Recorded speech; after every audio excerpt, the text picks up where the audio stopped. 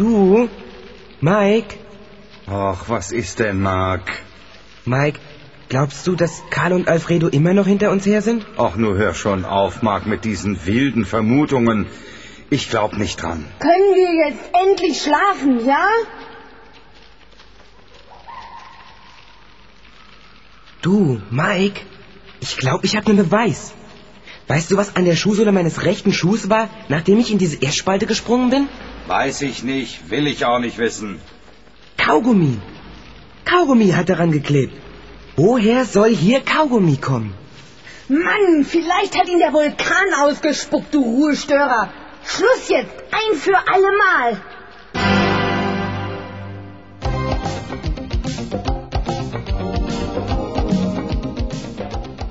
Obwohl mir noch tausend Dinge durch den Kopf schossen, schlief ich endlich ein. Mit einem Mal war Quetzalcoyotl da und befahl dem Parikutin auszubrechen. Der Vulkan gehorchte auch aufs Wort und stieß bereits kleine Rauchwolken aus. Darüber wurde ich wach und hörte Michelle im Schlaf reden. Hör auf mich zu kitzeln, Mark. Du kannst aber auch nicht aufhören. Lass das. Nicht, ich bin noch so kitzelig. Jetzt ganz ruhig bleiben, Mark. Ganz ruhig. Und Mike wecken. Mike! Mike! Wach auf! Schnell und psst! Was ist denn los? Ist denn schon morgen? Nee. Schau mal, schau mal, was dort über, über Michelles Arme läuft. Mike! Skorpione! Wir müssen... Nimm deinen Schuh in die Hand, Mark. Was? Wie? Tu, was ich sage. Und jetzt schleichen wir beide rüber, aber vorsichtig. Klar doch, Mike. Wenn ich jetzt nicke, dann. Okay. Jetzt! Hey, hey, was ist denn los? Warum schlagt ihr auf mir und den Boden rum? Skorpione, da sind Skorpione über dich gekrochen, Michelle. Igitt, das ist ja widerlich. Und zwar, ja, fünf Stück. Das gibt's nicht. Das ist absolut unnatürlich. Solche Viecher treten einzeln auf. Na, weißt du, Mark, mir hätte auch eins von diesen Giftzwickern gereicht. Kombiniere, da hat jemand was gedreht. Fünf Skorpione auf einen Schlag. Skorpione. Ha! Scorpio. Genau das war's. Ja, ganz genau das war's. Hey, Mike, was hast du? Was ist mit dir? Doug Carlson. Er ist damals für Scorpio gefahren, damals in Monza. Er hat mich von der Bahn gedrängt und wurde daraufhin disqualifiziert. Ein harter Schlag für ihn, denn damit, dass er mich ausgeschaltet hatte, war er praktisch schon Sieger. Ja und? Was heißt das? Doug Carlson, überleg mal, das ist Carl Douglas. Bestimmt, ich bin mir ganz sicher. Fett ist er geworden. Deshalb habe ich ihn nicht gleich erkannt. Du, Mike, ich hatte auch schon mal mit Doug Carlson zu tun. Was? Das hast du mir nie erzählt. Du hast ja auch nie etwas von dem Monster-Crash verlauten lassen, Mike. Naja, Danke für deine Schützenhilfe, Mark. Wäre aber nicht nötig gewesen. Ja, Doug Carlson hat mich mal angerufen, wollte mich von Carrera abwerben. Er ist jetzt wohl Rennstallleiter von Scorpio. Ich sollte rübergehen nach Amerika und das kam für mich überhaupt nicht in Frage. Deshalb habe ich auch kein Wort darüber verloren. Jetzt, nachdem mir klar war, wer sich hinter den Namen Carl Douglas verbarg, glaubte ich auch Mark aufs Wort, dass er von einem seltsamen Geruch geweckt worden war, als wir in der Aztekenruine übernachteten. Da hatte sich Karl oder, soll ich besser sagen, Ducks Komplize Alfredo nicht beherrschen können und sich eine Zigarette angezündet. Die beiden waren also noch da. Das beunruhigte mich sehr, aber wir mussten auf jeden Fall unsere Motortests zu Ende führen. Fahren jetzt besser zurück ins Lager, Mike. Ich habe wirklich ein ganz ungutes Gefühl. da kann ich dir nicht widersprechen, Michelle. Es reicht auch für heute. Was meinst du, Mike? Noch ein weiterer Tag hier mit unserem Audi am Fuß des Parikutin dürfte doch reichen, oder? Ja, bestimmt. Und C kann zufrieden sein mit seiner Neuentwicklung. Läuft, Mir macht läuft. es wirklich Gedanken, dass dieses Verbrecherpaar nicht mehr aufgetaucht ist.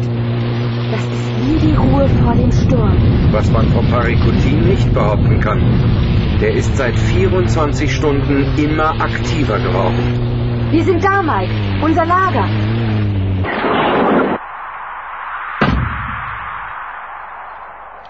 Mark!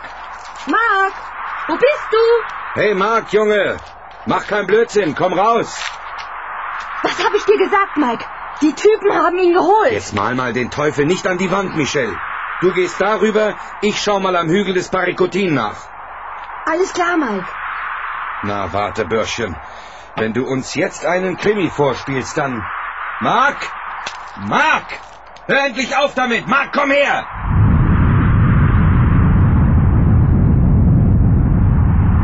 Hey, das war schon wieder der Vulkan. Wenn du deinen Sohn suchst, Weller, der ist hier. Sie brauchen nur zu kommen und ihn zu holen. Verdammt! Diese Verbrecher haben tatsächlich Mark gekidnappt. Ja, das ist Carlson und der Mexikaner, die da oben am Rand des Vulkans stehen. Ich komme, Doc Carlson, worauf ihr euch verlassen könnt.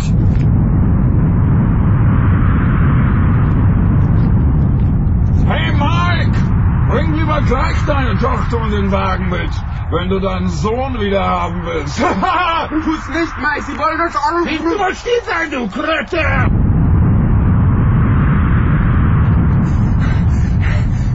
Gleich, gleich hab ich's geschafft. Oh, ich rutsche. Der Boden bewegt sich. Er bebt, aber jetzt. Ah, weißt du noch, Weller? Monza, damals Du hinterhältiger Schuft, du. Oh, oh, oh, oh,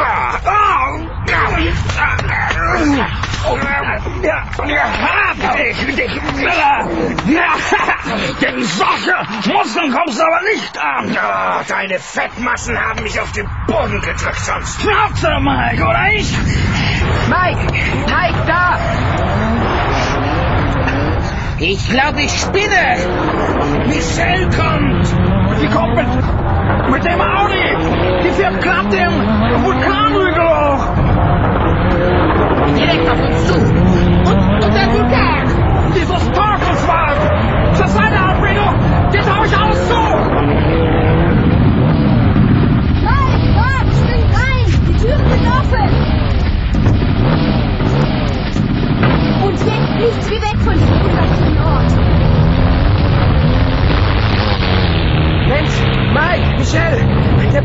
Parikotin bricht aus.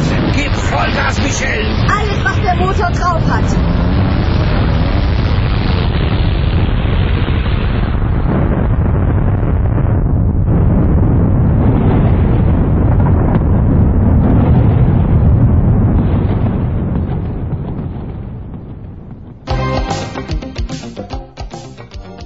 Für Carl Douglas und Alfredo Garcia konnten wir nichts mehr tun.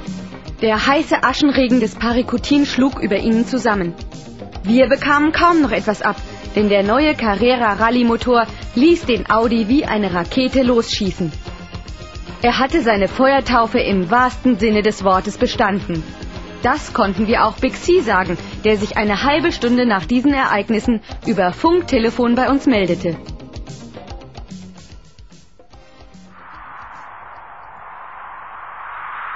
Tja, ja, das kann man so sagen.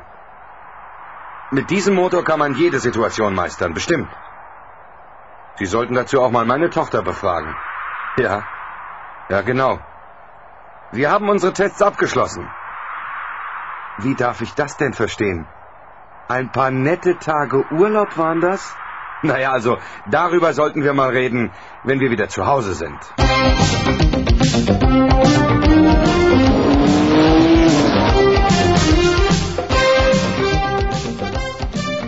Und wenn ihr diese Melodie demnächst wieder hört, erlebt das Carrera-Team Abenteuer Nummer 6, Sabotage.